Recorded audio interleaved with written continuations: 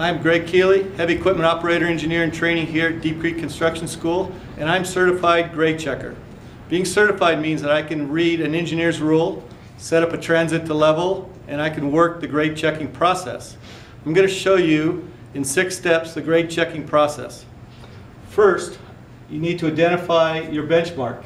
In this example, we're going to identify the benchmark at this location, at this point. Second, identify points of interest. And in our example here, we're going to have three points of interest, point one, point two, and point three at this location. Third step is set up the transit. And our transit will be set up at this location, so I'll be able to take readings of all three points of interest. Number four, determine the height of instrument uh, from our benchmark. So I'll use an engineer's rule, and I'll measure from the benchmark to the height of my instrument, which will be the scope on the transit, and that reading is 5.25 feet. Next, I'll take the readings of my three points of interest. So I'll move my engineer's rule down to 0.1 interest, up to my height of instrument, and that reading will give me 17.5 feet. And I'll move my, my uh, engineer's rule over to 0.2, and I'll take a reading of 2.2 feet, and I'll move the engineer's rule over to 0.3 and take that reading up to the height of instrument, which gives me 8.1 feet.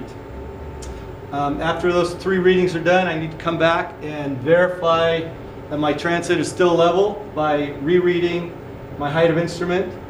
And that reading again will give me 5.25 feet. And that just verifies that my transit is not moved and all my other readings will continue to be accurate. Uh, next, I want to calculate cut and fill. And my rule of thumb on cut and fill will be if the reading is greater than the height of instrument, uh, means I'll be filling. And if the reading is less than the height of instrument, means it'll be a cut.